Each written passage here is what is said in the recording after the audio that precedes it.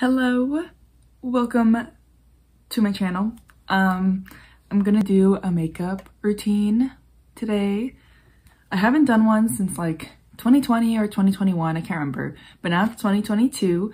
So here's an updated one. I'm pretty sure the products I've used have changed and like trends have changed as well. So it just made sense for me to make a new one. So I'm gonna put this on Okay, now you can see how big my forehead is and I somewhat resemble Hello Kitty. Not really, but you get the idea.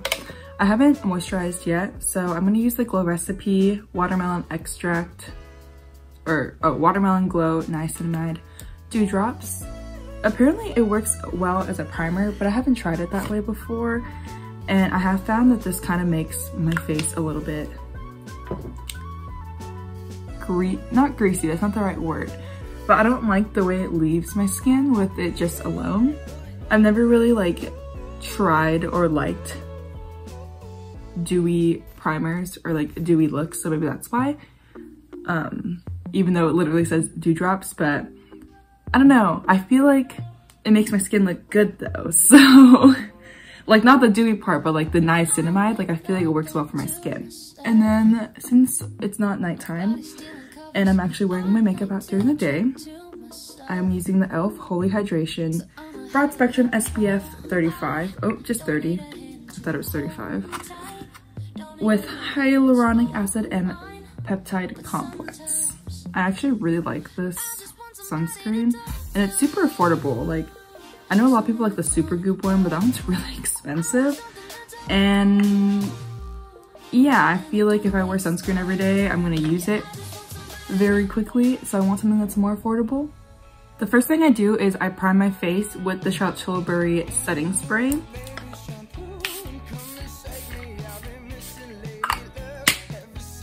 I feel like using the setting spray as a primer is way better than using my Bobbi Brown one. And I know this is small, but I've actually used it a lot. And I just feel like it doesn't it doesn't work the same way. I just feel like I like this way better because you can use it as a primer. It says to use before and after makeup anyways, so, so it's dry now. And the first thing I do is I use concealer. I think most people use foundation before they use concealer, but I always do concealer first because, I don't know, I just like it better that way. I'm using this palette with the mirror because I don't have a big mirror in front of me, so it might get close to my face. But this is the e.l.f. Hydrating Concealer, Hydrating Camo Concealer with a satin finish in light sand. And I basically apply it just under my eyes. And then right here, cause I get red right here. And then any blemishes or like spots I think I want to cover up a little bit more. And then I use this Eco2 sponge. It's kind of dirty. I know it's kind of gross. I don't wash my sponges every day. But I really like this one more than the Real Technique one. Real Techniques one. I feel like it blends a lot better because I've used the Real Techniques one before. And I just like, I don't know, I feel like it's like not as bouncy. So it doesn't blend in as well. I feel like I try to go pretty light on the concealer because I use foundation. Also, I got tan recently, so my forehead is way tanner than the rest of my face, which is kind of annoying. I use the Fit Me Matte and Poreless foundation in 120, which is classic ivory, because I feel like I actually am pretty pale. Just my forehead's really dark. And I just put it on like this. I really wish this had a pump, but it's fine. This is very affordable foundation and it works for me, so. Also, I feel like it's like a pretty, like, good match. Like, I don't know.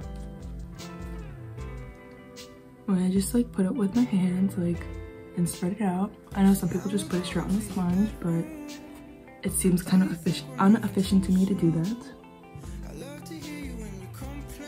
And then blend.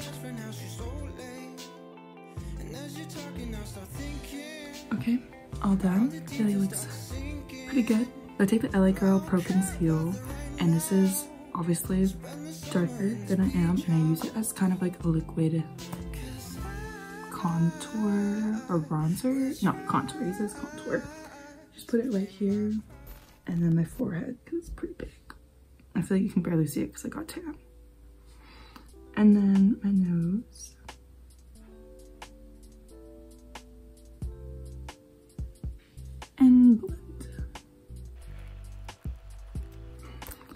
And for my nose and my forehead, I like to use a brush. Sometimes I just use a brush for like this part too. Just depends on how I'm feeling, to be honest. But I feel like a brush is like really good for blending it in. And then I like to keep my nose contour pretty light, like just enough so like it kind of sculpts it, but not like in too intense. Especially since because I put blush on my nose as well. So then I take the Rare Beauty blush in Bliss. And I put like two dots there. It's very pigmented, but I'm sure everybody knows that because it is like very viral. And I used to do it with a with a brush, like blend out with a brush, but I feel like it doesn't look as good. So it looks a lot better when you do it with a blender or like a sponge.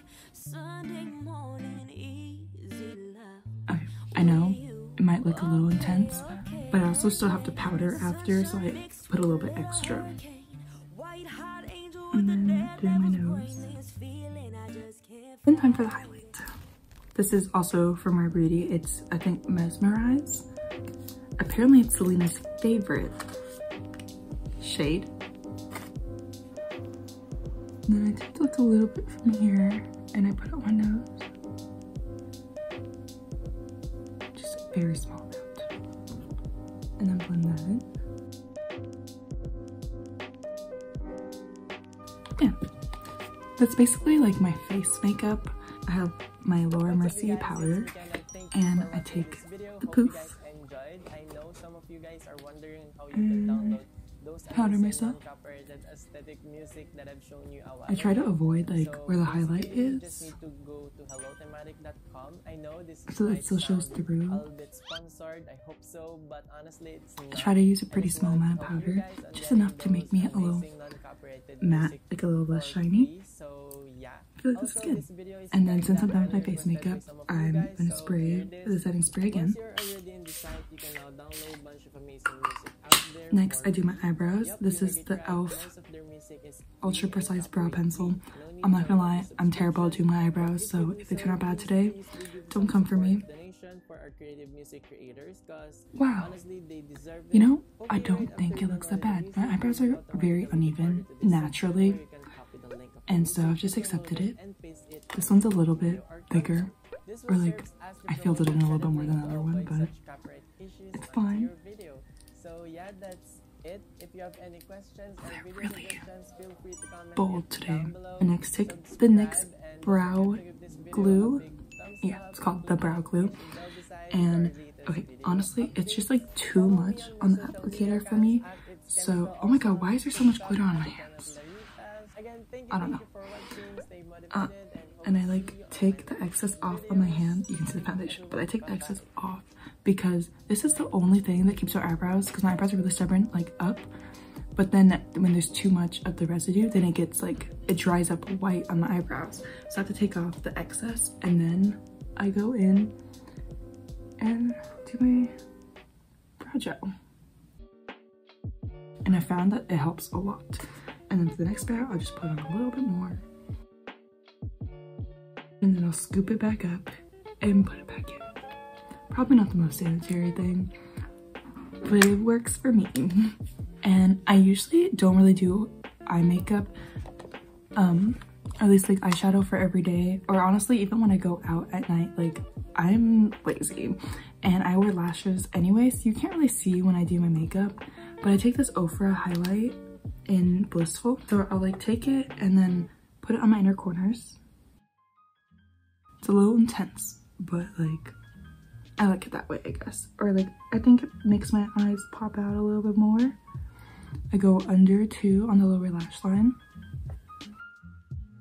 And that's pretty much it. I just feel like it, I don't know, I feel like it does open up my eyes more, but maybe that's just me. And then this is the eyeliner I used to use. It's the Breakup Proof Wet n Wild And then it went viral on TikTok, so I couldn't get it anymore. So now I use a different one.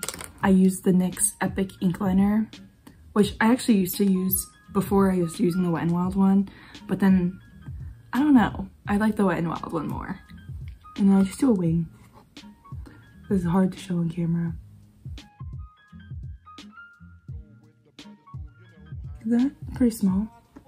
And then I fill it in. And then I line, I line the upper lash line. I cannot talk. You can see I messed up a little bit, but I'm not gonna fix it. And then time to make it even on the other side. Okay, I will say my eyeliner is not super even, but I'm not gonna spend that much time on it. I'm kind of lazy. So I'm just gonna put my lashes on. And plus, usually after my lashes on, you can't even tell that it's uneven. But yeah, I'm not gonna lie. I feel like my skin looks amazing right now.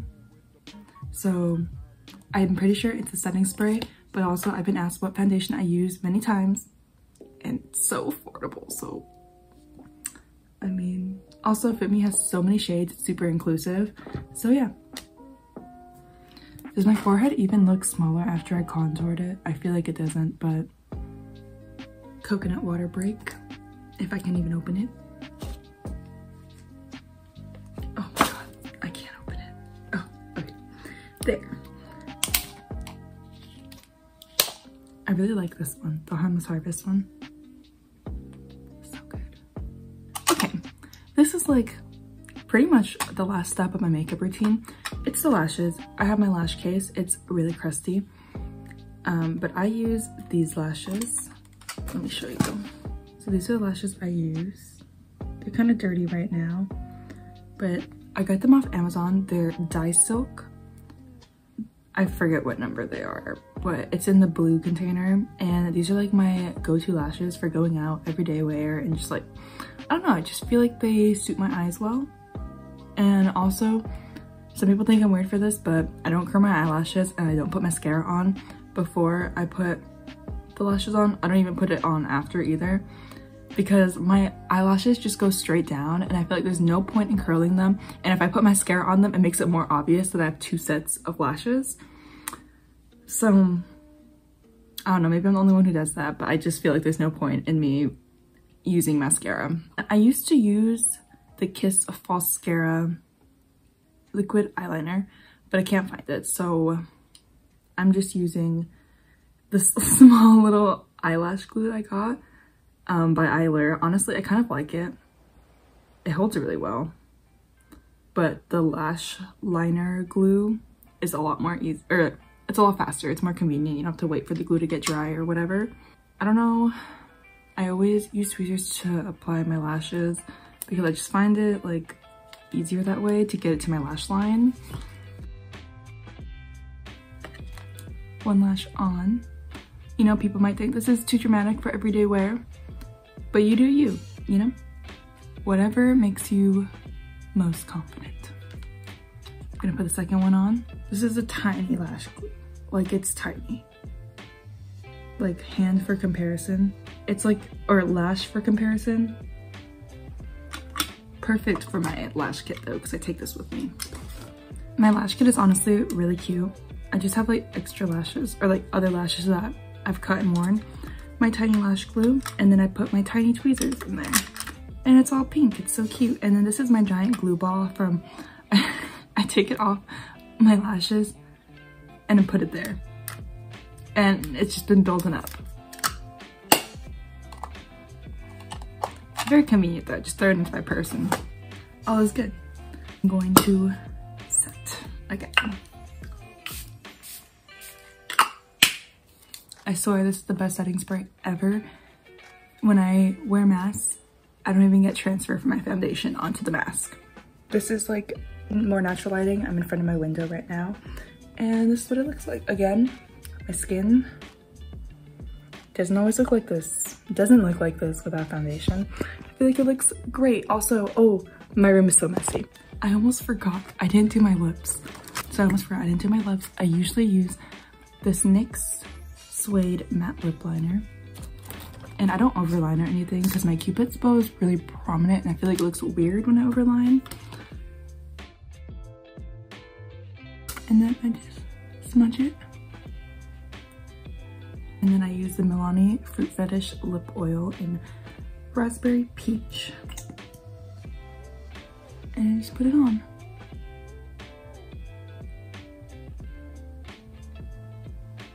Literally tastes amazing and it looks just like a gloss. Looks so good. And my hair doesn't stick to it.